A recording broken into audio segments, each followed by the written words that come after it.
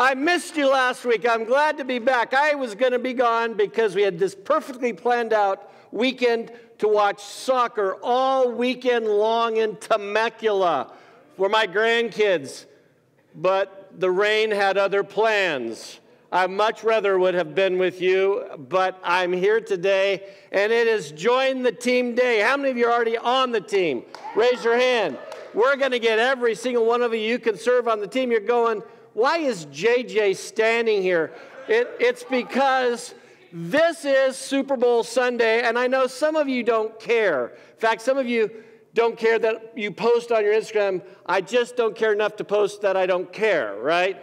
Or maybe your preparation for the Super Bowl is you start taking your antacids before, you know, the game starts. But I used to be a football official. We don't throw overhand, we throw underhand. And I thought I would have JJ do a skinny post. All right, so he's going to come over here. I, I, by the way, Mahomes has Kelce. I mean, Purdy has Aiyuk. I got JJ. She's going to do a skinny post. Here we go, all the way out. Oh! I sent him too long. We're going to do that again. All right, we're going to do a skinny post again. Here we go. Yeah! Thank you, JJ. All right, he's a basketball player and he usually dunks, right? So I hope you got your outlines ready to go. We are going to look at the final part of this series called Standing Firm, and we're going to look at friends you can count on. This has multiple applications. If you want friends, you ought to be on one of our teams. You will get plugged in, you will find community, you will find your place here at Grace Church. But as we do that, I think about how often men in the church don't have friends. And Paul, on the other hand, talks about two of the most significant friendships in his life. Uh, as we think about that, uh, these kind of friends that you can count on, that you can trust in, trust your life with, uh, the people that have your back, it's a rare commodity. And finding a friend like that is like pure gold. And you may go your entire lifetime sifting through a lot of friendships before you find someone like this. Now, I know that um, with this Super Bowl deal, some of you are a little, you know, distracted. The game isn't on till 3:30. You have plenty of time to be here and focused, get your nap in, etc. But I got to tell you, because it's uh, this whole team thing we're doing, do you know one of the things that we are going to kind of provide for you when you leave here? It's one of my favorite things. Do you know what it is? What's my favorite food? Chocolate chip cookies is my favorite dessert, yes. But my favorite food is Mexican food. And on the plaza today, via La Tolteca, we are going to have chips and salsa. I mean, real salsa, all right? And so we're going to join that. But you'll be eating chips and salsa, so you get that pregame uh, salsa thing in. And as we think about the, these friendships things, uh, I was going to give you all these stats about the Super Bowl, but I don't care because I want to get right to the message. So get your notes out here. And we're going to do something a little different. I'm not going to read this whole section because we're going to be covering it, but I've printed out what we're going to be covering today in your notes. And I'm going to actually have you get a pen out because you're going to be circling some things and adding to some things here in just a little bit. So, what are the characteristics of a trustworthy friend? We're going to use two examples, then I'll give you some principles. And you can kind of use that as a checklist say, do I have that in my life? Let's look at the biographical sketch. Who are these guys that Paul's going to highlight? The first one is Timothy, and he calls him his son, verses 19 to 24. And he says, I hope in the Lord to send Timothy to you soon, so that I too may be cheered by news of you. For I have no one like him who will generally be concerned for your welfare. For they all seek their own interests, not those of Jesus Christ. But, but you know Timothy's proven worth, how as a son with a father he has served with me in the gospel. I hope, therefore, to send him just as soon as I see how it will go with me. He's in prison, remember. Not sure how that's going to go. And I trust in the Lord that shortly I, might so, my, I myself will come also. Now, Timothy, his name, you want to fill in the blank, treats him like a son. His name means honor God. He's a native of Lystra and Derbe in southern Asia. And uh, he's a child of a mixed marriage. By that I mean his, his Jewish mom, Eunice, and his Greek father, who's never mentioned, which is interesting because he's really heavily influenced by his father's Greek culture, but we don't know much about him because he wasn't circumcised as a child, but later as a young adult. Um, I want to pause here because some of you are single moms in this auditorium, and you're raising kids and you go to church, your spouse doesn't, and it's a tough grow. And I want to identify, not you don't have to raise your hand, but if you're in that category, I want to give you encouragement today because don't think your kids can't come out okay because you're a solo parent. And it works both ways. Some of you are single dads raising kids without a, a spouse helping you with that. And I believe that that's the toughest job in the world. My daughter has five kids. It takes four of us to parent them when we're down in San Diego. So I don't know how you, some of you do that all by yourself. Now, there's an interesting note about Timothy. He had a, par- a fairly famous grandma. Her name is Lois, and she had a profound effect on him, according to 1 Timothy 1 5. And so I just want to do a shout out to you grandparents who are coming alongside. I know we're talking about friendships, but it's also a little sidebar on parenting and grandparenting. If you're a grandparent here in the room, would you just kind of raise your hand? You're a grandparent in the room. All right, we got many of you. God bless you. And if you want to be more intentional, this is a shameless plug for a grandparenting seminar. We're going to begin on September, uh, September, February 26th on Monday mornings for six weeks. We'll tell you more about that. So Paul meets and leads Timothy to the Lord on his first missionary journey. If you want to get that, that's in 1 Corinthians 4 17. But it's in his second missionary journey that he enlists this young Timothy to kind of be his intern and he begins to mentor and disciple him. So he's talking about Timothy. This is one of the two dear friends he's going to reference, and we'll gather our data from. Paul's this older mentor. And the bottom line is it says in this text that he's going to send him back to Philippi to get some news about how they were doing. And so I want to give you a principle here. There's a commendation to Timothy. Write it down. He says, I have no one else like Timothy who will genuinely care for you. No one besides Timothy who will genuinely care for you.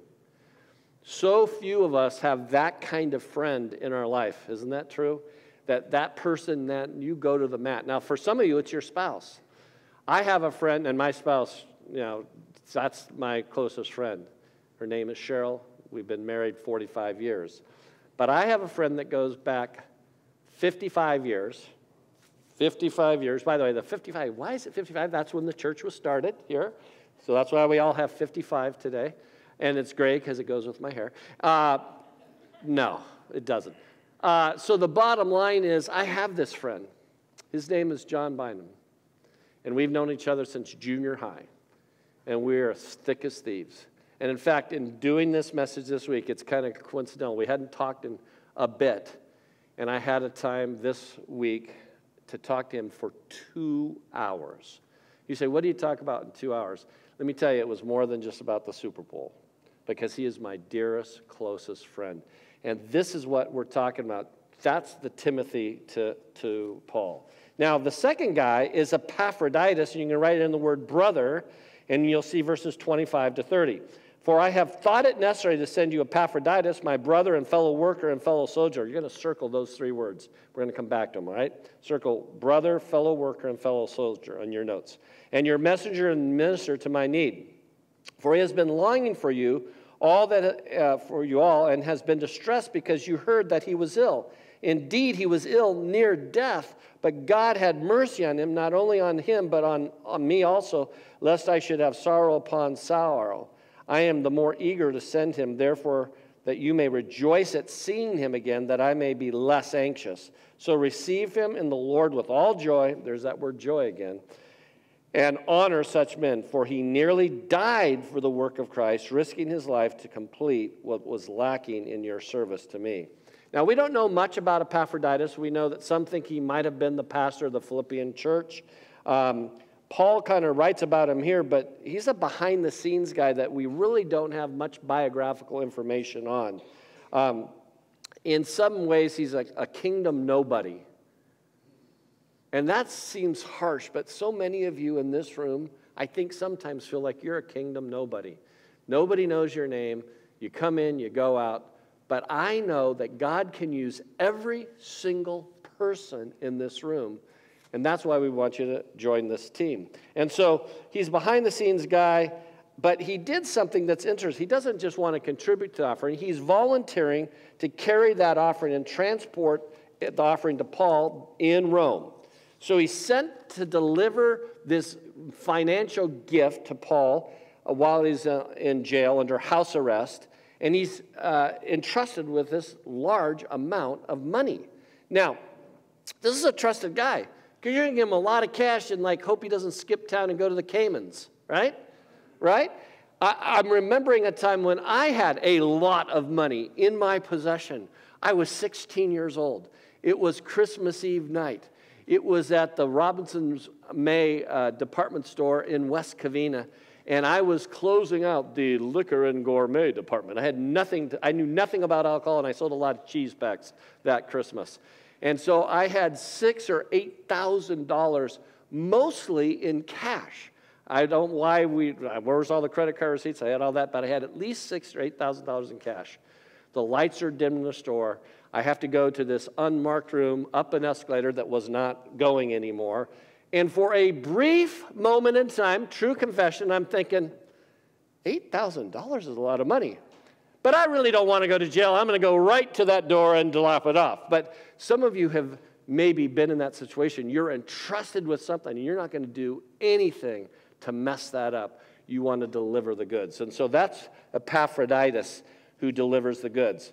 The problem is, shortly after he gets there, he gets really sick. He's, he's ill, he almost dies.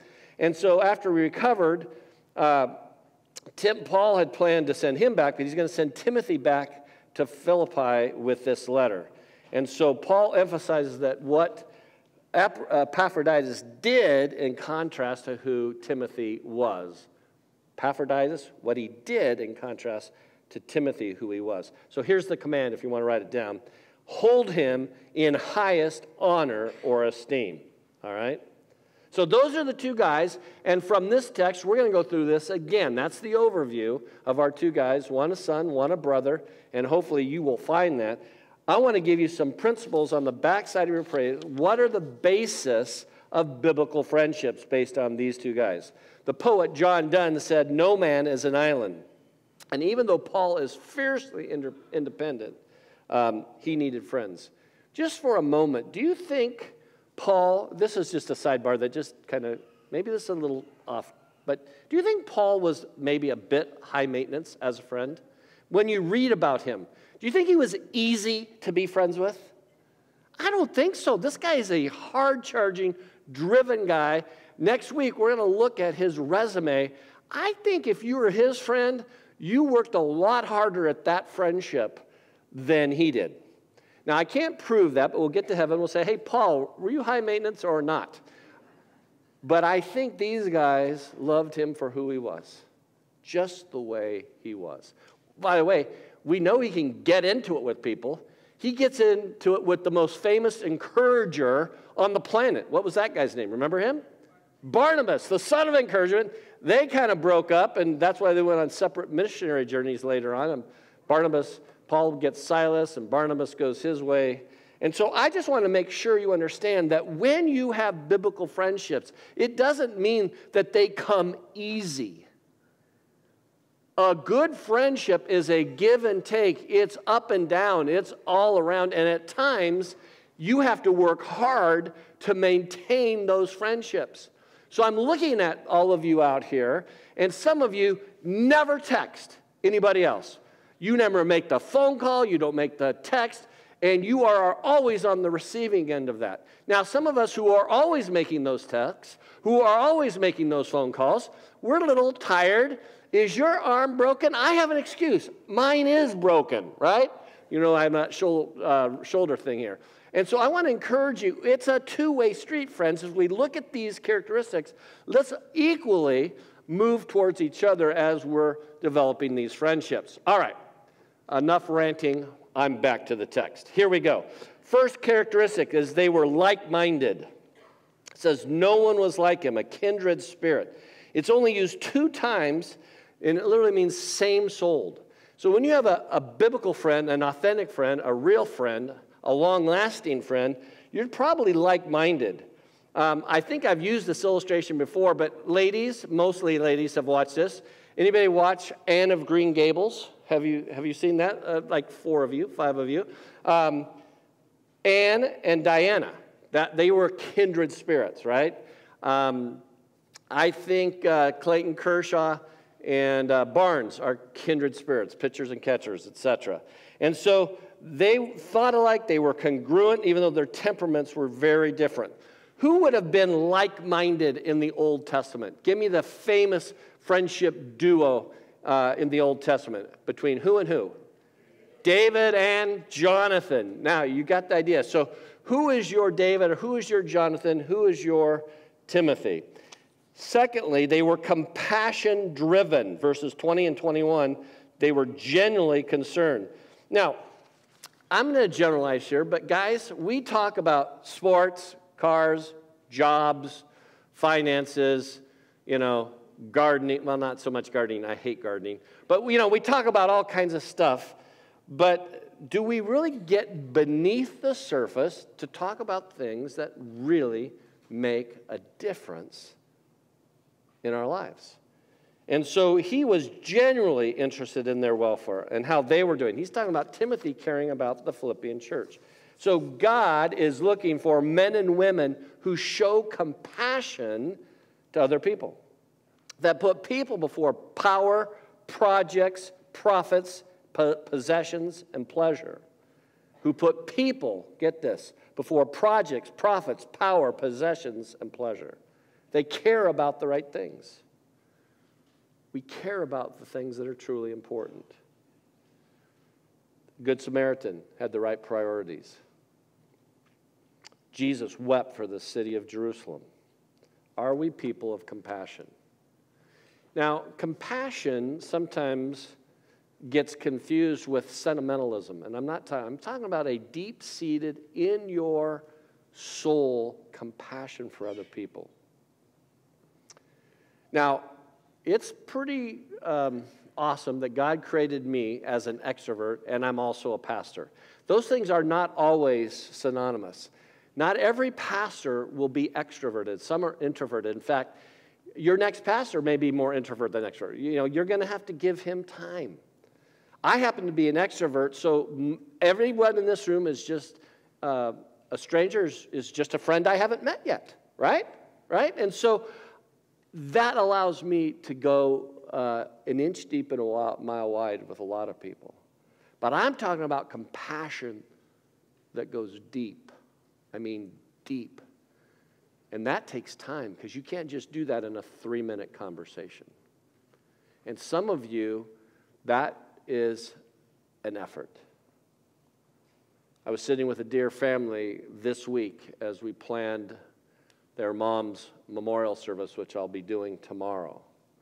And I thought I had perfectly had it under control. I could just talk, and we kind of talk things through. And I found myself getting choked up just, just ever so quickly. And I tried to cover it up, and uh, I didn't do a very good job of that. I generally want you to know that I care for you, and even if I don't know you yet, I want you to know that God loves you, that there is a purpose in your life, and this idea of compassion, we need to show it more and more to one another. Amen? By the way, when you're on a team, you get cared for. I am going to be relentlessly redundant to get you get the team theme out today, right? When you're on a team, you often get cared for and there is compassion. Thirdly, if you have a biblical friendship, it's going to be Christ centered. For they all seek their own interests, not those of Jesus Christ. So it's kind of a negative illustration. If you're going to have a genuine friend, you, who is that Christ centered friend? Not your golf buddy, not your pickleball partner, not your financial advisor. Who is that Christ centered friend who's not self absorbed or not self centered? And so he's kind of uh, reinforcing what he's already said in Philippians chapter 2 earlier in verses 3 and 4. Um, Timothy served Paul, he was the number two. Most of my ministry career, I've been the number two. Haven't been the number one. I've been in the number two role a lot. And one of my goals is to make every pastor I ever worked with successful in what they did so he could have a ministry that would last for a very long time. So I was talking with the search committee this week. Um, you know, this is my third interim pastorate. My first one I did in my 40s my hair was less gray. It was salt and pepper back then, right? And that pastor that came in during my time there has now been there 20 plus years at the Cypress Free Church. My second um, interim was a few years ago, now over 12, where I was the interim. And that pastor, Scott Kegel, has now been on that staff for 12 years. And uh, one of my closest friends, I was the interim. I did the search, I found him, and then he hired me, which never happens. So, I am telling you right now, I believe that your next pastor could have a very long, uh, I don't want to say runway, I want him to get in the air quick, but a long tenure here because I believe that you have something going that is very important. You have a great staff, a great team, and you're a healthy church. And those things, you can have a good team in an unhealthy church, or, uh, but generally, good teams produce healthy churches. And so you have that, and you should be grateful for it. Christ centered. And so that's what uh, defines this relationship Christ centered. H, uh, F.B. Meyer preached into his 80s. And when he was at the age of 82, he said in one of his sermons, I have only one ambition to be God's errand boy. Are you God's errand boy? In the sense that Christ is your focus and you'll do and orient your life so that's reflected. Now, I want to show you a picture of an iceberg. I think that's coming up here. I want to show you this. So, when we talk about being on a team and ministering and friendships, this part, and that looks like a huge iceberg. That's only 10% of that iceberg. 90% of what you see is you can't see it, it's underneath the surface. And so when you have biblical friendships, what people see on the outside is just a little bit of who you are. But what really sustains biblical friendships is what's underneath the surface of your life. That's where your true character is. It's, it's who you are when nobody is watching you. And so it's your integrity, it's your honesty, it's your Christ centeredness. And so our character is ultimately the foundation upon which we live as Christ followers. We have to be Christ centered. It should influence your decision making. I'm, I'm, I'm so glad you're, you're in church today. There's no need to be watching nine hours of pre Super Bowl warm ups and analysis. You know, here's the, here I'll give you one. What's the over or under how many times CBS is going to cut to Taylor Swift in the booth with Brittany Mahomes and mom in law or whatever? There's like odds on whether, you know, Kelce's going to propose at the end of the game. Oh my goodness gracious. You know what? I'm, here's another one 1.45 billion wings are going to be eaten worldwide today. CBS hopes to have 115 million people watch the game. And I'm, I'm rattling off these statistics like I care. I don't. But I did get up at 5:30 this morning to find a few of them. Because what's really important is what I'm talking about. You got to find a friend. You have to have a friend. If you're a lone ranger here today, let me encourage you that's not the way to live the Christian life. Fourth principle is they were servant oriented.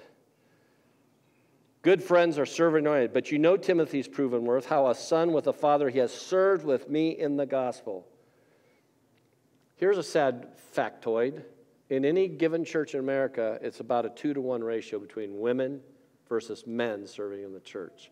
So I particularly am calling men to serve in this church. And there's so many, we're going to go out in the plaza, there's so many places you can plug in. So many different places you can plug in. So don't just sit on the sideline. James 2:17 says faith without works is dead. So here's what servants are like.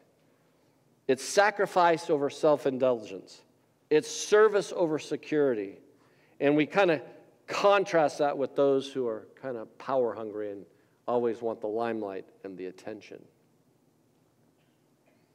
You know what makes my wife awesome? And she's not even here to hear this wonderful little tribute. She is such a loving hostess.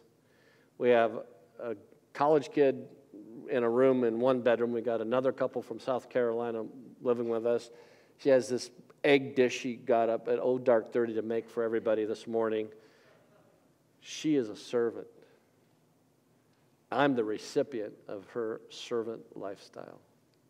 She's taught me so much about what it means to live in such a way that you please God, but nobody knows what you're doing behind the scenes. She's servant oriented. Last or next is proven dependability, verses 22 to 24. But you know Timothy's proven worth.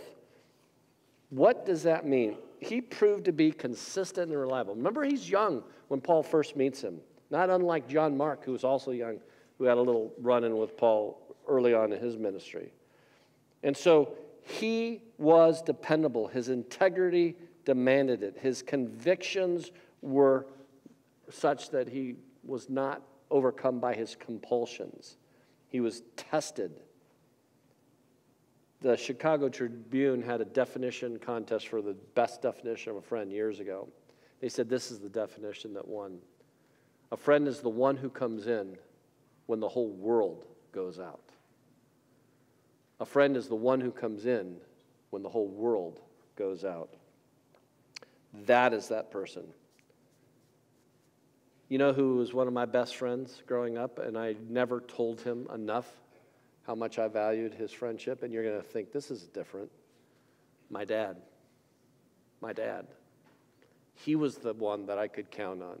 By the way, my mom, I could too, but my dad was the one who never missed a, a baseball game in all the years I played baseball.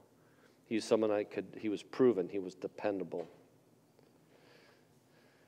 Cheryl and I were talking about how in ministry you move a lot. Start off, my first church was in West Covina, where I grew up. and I served for 10 years in Huntington Beach. Then God exiled me to the land of the frozen chosen in Minnesota. I just say that kiddingly, but 14 years.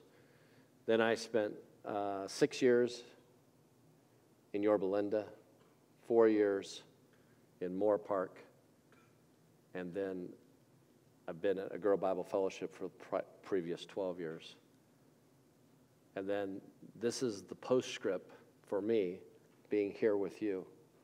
All those moves, all those changes, you find out very quickly who and what church can you depend on. Who are the go to people that are dependable? And you know what, Grace Church? You have those kind of people in spades here. It's awesome, awesome place to find people who are dependable. They're right here. Next, number six, they were relationally connected. I said, I asked you to circle the words brother, fellow worker, and soldier. I know that's on the other side, but I want to highlight that. He's now going to switch from Timothy and describe friendship in relationship to Epaphroditus. So he, he describes Epaphroditus in three ways. First of all, he's brother. He's brother to them. In other words, they are family. That word brother is used 133 times. And when I ask, think about brother, and we look at verse 25, the question is, who is in your heart? Let's go to that slide. Secondly, fellow worker. We are focused. There's a common goal. The common goal is that who is by your side. So, who is in your heart? Who is by your side? We're family, we're focused. And then he says, fellow soldier. Make no mistake, friends, if you're going to get in this game, it's a fight. It's a fight. It's a battle. It's going to cost you something to be on this team. Who has your back? So look at those here. As you look at your own relationships, do you have brothers and sisters where your family, they're part of your heart? Are you, do you have a team you're on where you see that fellow workers, you're, you're focused? Who's by your side? And who are the fellow soldiers? We're in a fight. Who's got your back?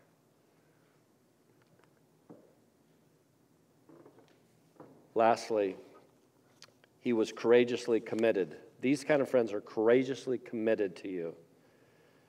He instructs them to hold up guys like Epaphroditus up because, quite frankly, Epaphroditus is the one who's willing to risk his life for the gospel. Now, I have never really had to risk my life for the gospel. The first time I saw the stakes were pretty high was back in 1989 when I took a team of high school and college students to Lima, Peru.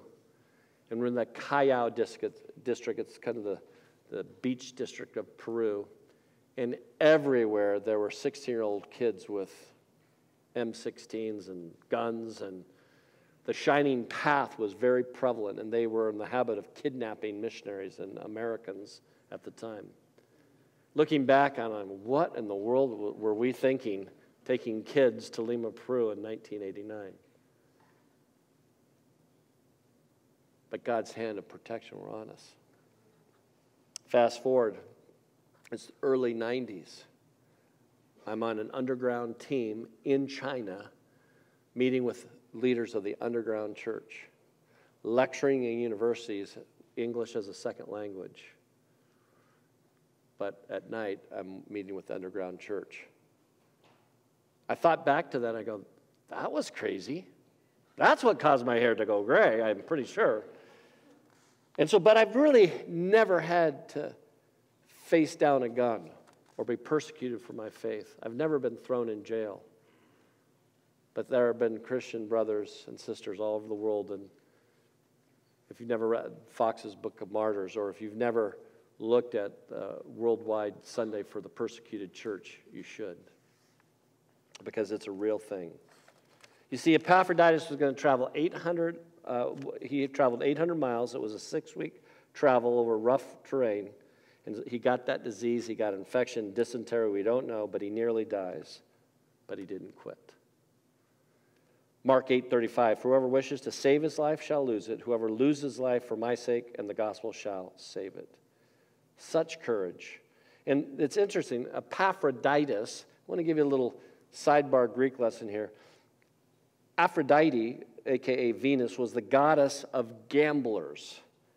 So when a pagan Greek threw the dice, he would cry out, Epaphroditos, meaning favorite of Aphrodite.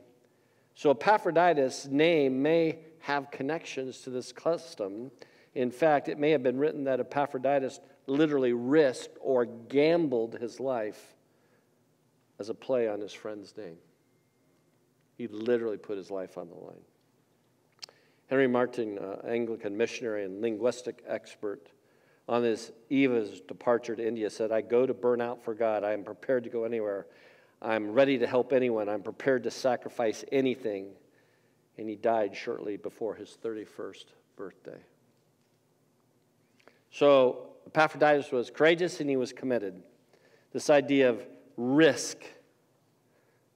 Don't play it safe, friends. Step out of your comfort zone. Do something that you're not comfortable with and try it. So proud of my, my new, my new daughter in law. My son got married last May. She says to John Daniel, my son, she goes, We got to serve. We can't just come and sit here. She's a relatively new Christian, and we got to serve. So, you know what she's serving? She's serving in children's ministry with special needs kids. She's assigned to the same kid every week. She's been bitten, she's been spit on, she's been hit. And she comes back every week. And that family she serves, she's serving the Lord. But don't you know it that that family loves Sydney? She's risking it. She wasn't sure about it. My son like couldn't be left out. Like, okay, I got to serve. He's doing a little safer serving. He's an usher, right? And he has big guys all around him, so if someone really gets really, out they go. Nah, none of that. Where are you serving? History tells us that the most spiritual revivals have started when men get serious about their faith. Ladies, I'm not letting you off the hook, but I'm certainly putting the men on the hook. And I'm not here to make you feel bad, because on Father's Day, well, you know, you, get your once a year attaboy. But today, men and women, we need you to serve. And it's going to require sacrifice. See this picture up here? I think I have a picture of a pig and a hen. You know the story. The orphanage needs some food donations. They're talking to one another. The chicken says, Well, we should make a donation. You and I both. The big pig goes, Ah, not so quick. You lay an egg, that's a donation. If I provide the bacon, it's sacrifice. we don't need eggs today. We want sacrifice. We need both. And so, where will you fit in the team? As a friend, are you ready to step up? Go anywhere, any place, ready to help anytime? What kind of Christian, what kind of servant, what kind of church member do you want to be? I believe that this message on friends is really a dual message because you get all that.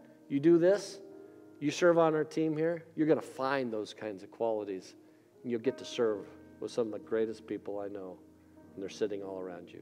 Amen? Amen. Let's worship together.